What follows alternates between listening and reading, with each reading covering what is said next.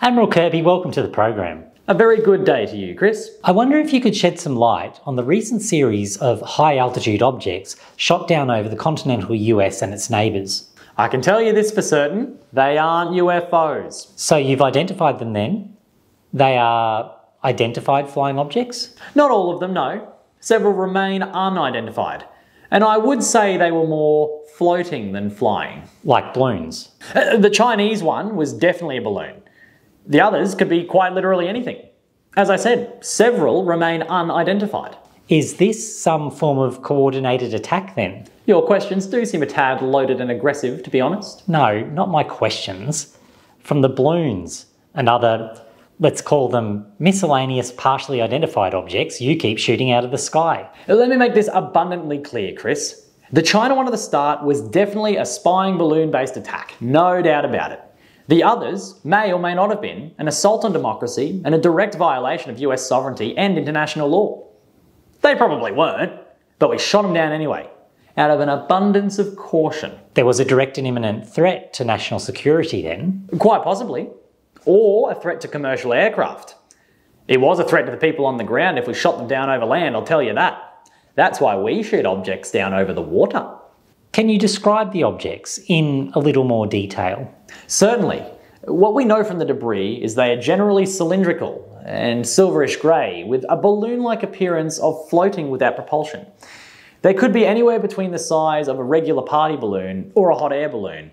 They may have been travelling very high or not very high at all, relatively speaking. That description seems a bit vague. Well, it's a mangled mess after we shoot it out of the sky and it comes falling all the way back down to crash in the ocean. Then it's all full of water and spread out over a wide area. A lot of it sinks. You need to speculate to fill in the gaps when you blow something up by shooting at it in this manner. So, why did you have to shoot it down?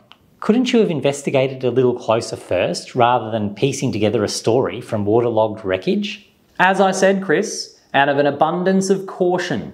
There were risks involved in looking before shooting. There were a lot of antennas on some of them. You never know what they could have been doing. Shoot first, speculate from the wreckage later is the safe way to play it when dealing with potential spies. And what about reports of a $440,000 missile shooting down what ended up being a $12 hobby balloon over Alaska? Another shoot first, look later abundance of caution? Absolutely. We need to send a message, and we need to be clear and unequivocal that we do not tolerate this hobby balloons, anything up there floating around that poses a potential threat of spying on us down here. You simply cannot be too cautious. What about shooting down satellites? Surely they are a lot more advanced for spying. I know they have a lot of antennas. Don't be ridiculous, Chris. The fighter jets can't fly that high. It would be completely unsafe.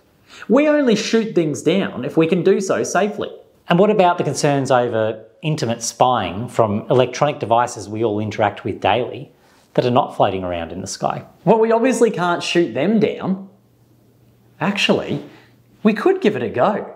If we gathered them all up and popped them in balloons and sent them out over the water first, we could speculate on what they were doing from the recovered debris afterwards. Admiral Kirby, thanks for joining me.